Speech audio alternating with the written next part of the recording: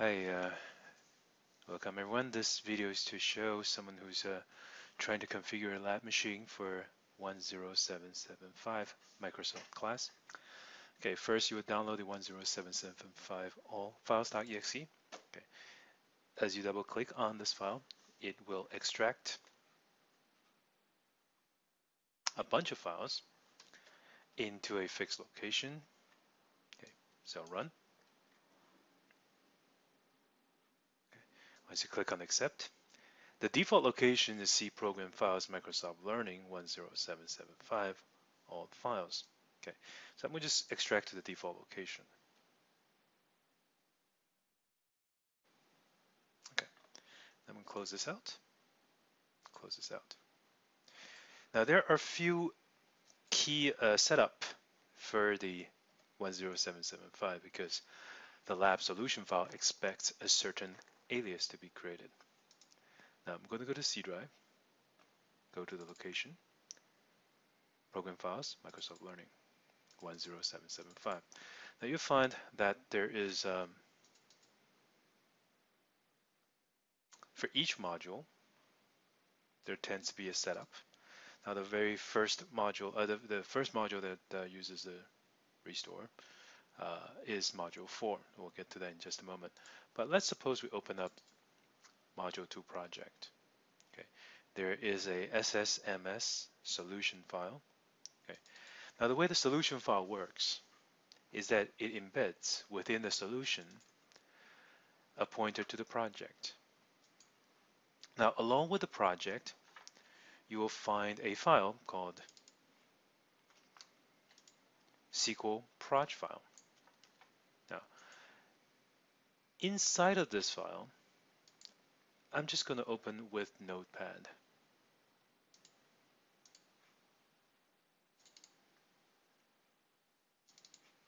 Now, as you open the Notepad, you'll notice that these connection has a predefined server name and authentication mechanism. So as you can see that we're expecting a server called AdventureWorks and a server called Proseware. So that means those aliases must translate to your locally installed SQL Server. Okay, we're using alias because each machine will have different machine names. Your machine and my machine has different uh, names. So for example, my computer name is Win75, etc., etc. That's my local machine name. So you can always find your machine name by right-click on computers under the Start menu and select Properties. And it will tell you what the computer name is. So what we want to do is to have the Proseware as well as AdventureWorks connected to a SQL Server instance, the one we install locally. Okay. Now I already have a SQL Server installation completed, so I can use the SQL Server program group and go to Configuration Tool. Now under SQL Server Configuration Manager, now you'll notice that I have a SQL Server Services. Now this will confirm my default instance is up and running. Okay, the default instance carries the name MS SQL Server. Okay, so if that works, now there are two places where you can configure the alias. Okay, one is the native client 32-bit alias. So here I will create a new alias so that Proseware, oops, sorry about the cap locks, Proseware connects to my local machine. Now, here I can simply use localhost if that's my local machine. If it's a, a remote machine, I will copy and paste machine name. Okay, so Presently, I'm just going to use TCP/IP, and the default port is 1433. And connecting to localhost. Localhost is a name for the local machine. Now, I can also type this win-75jdm, etc. And that will work as well. I can click on change name and then use this to copy and paste. So either one is fine. Again, if you have a remote machine, then you have to use fully qualified machine name click on apply. Okay, now what this allows me to do is to use my SQL Server Management Studio okay, and say I want to use Object Explorer and I'd like to make a new connection. Connect, database engine. Now I can say Proseware.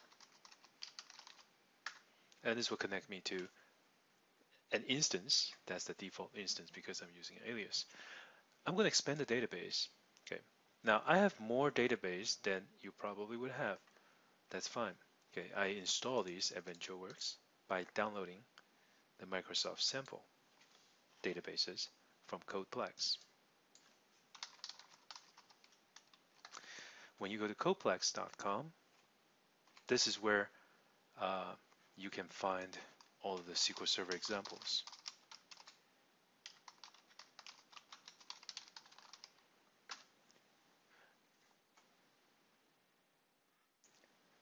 Okay, you'll find Northwind database, you'll find uh, SQL Server sample databases. They are Northwind,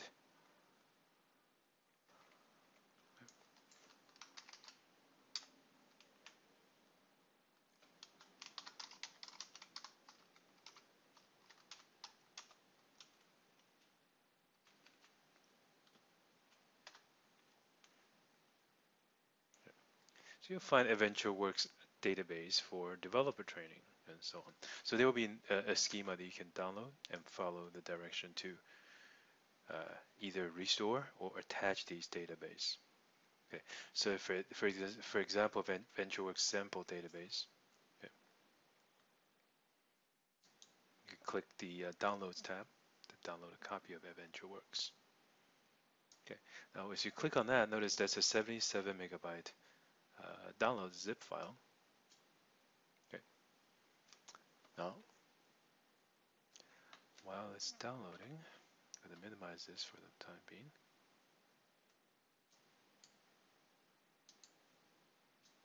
Okay, that's fine.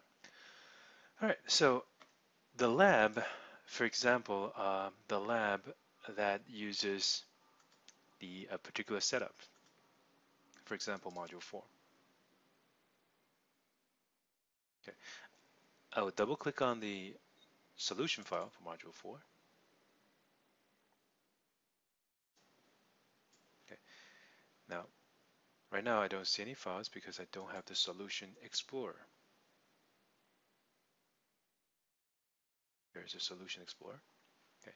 Now notice there there is a connection for AdventureWorks and a connection Proseware. Now, uh, different file have uh, each of these files has a dependency to one of these connection definitions. Okay, I have set up Proseware. I haven't set up AdventureWorks yet. Okay, so to set up AdventureWorks, I'll right-click on Alias and select New Alias. And here I'll create an AdventureWorks as well.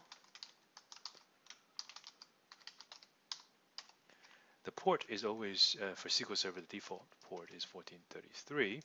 And the server, again, I'm going to use localhost for my local uh, SQL instance. Okay, so now I have AdventureWorks as well as Proseware. Now that configures the dependencies. Okay.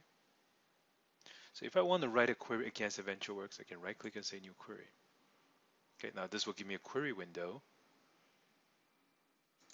Now, just if you notice under the status bar tells me what alias I'm connecting to, what's the machine, uh, sorry, what's the account I'm connecting to the database as, which database I'm on. Okay. Here, any installed database can be selected from. Okay. All right. So, for example, Module 4 talks about, uh, in this case, uh, database ownership.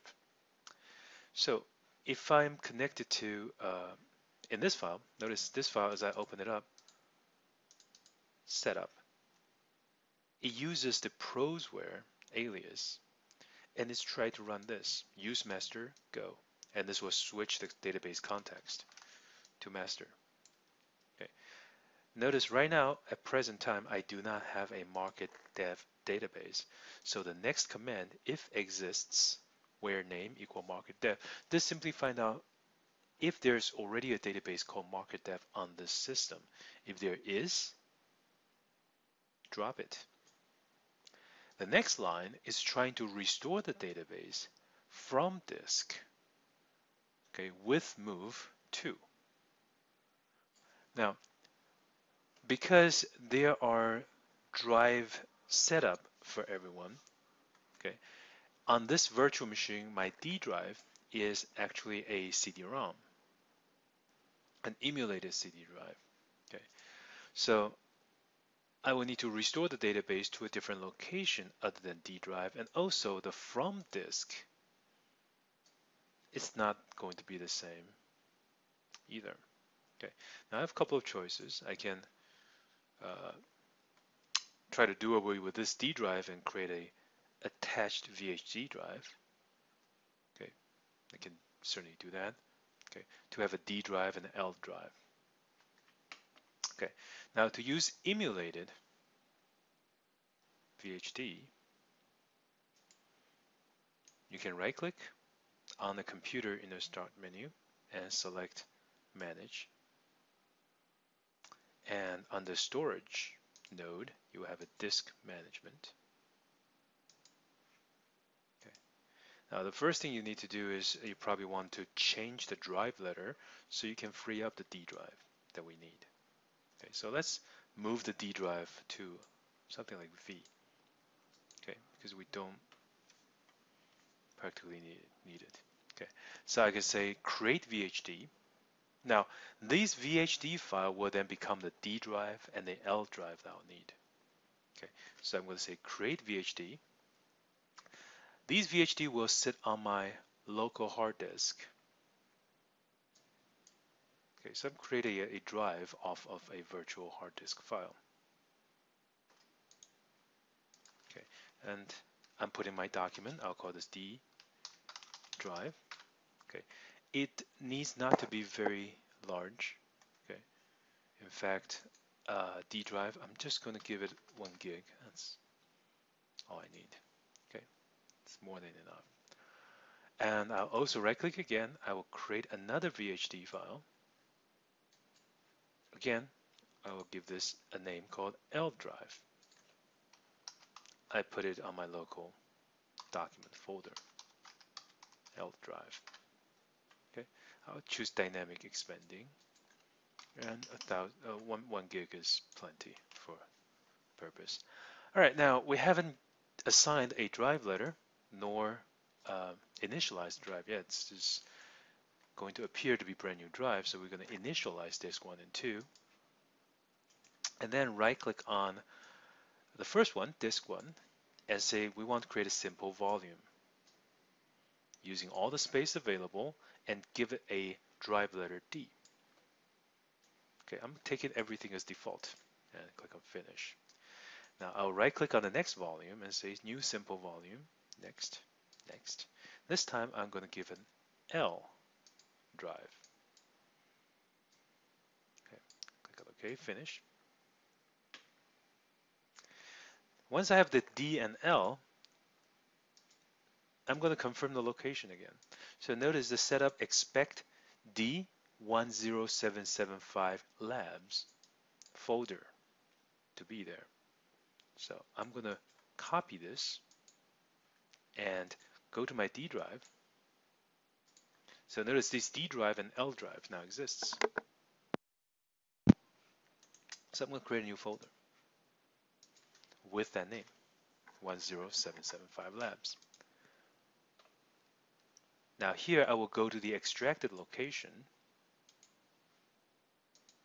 Okay, go to my C, program files, Microsoft Learning, 10775, all files, and I will copy or move, it's up to you, okay, everything in this directory to the labs. Now that will satisfy this path.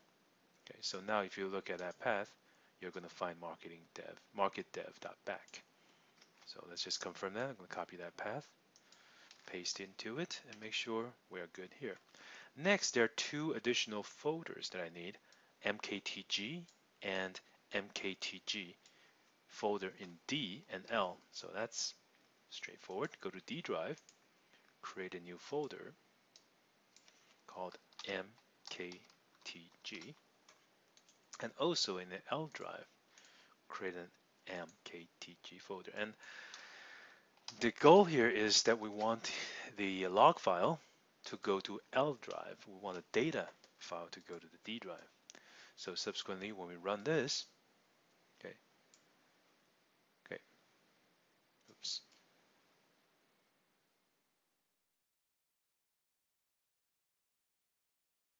Oh no.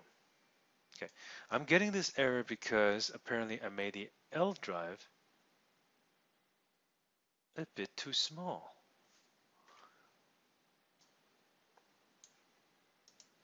Alright, so it looks like I made my L drive a bit too small, so um, what I have to do is correct this mistake.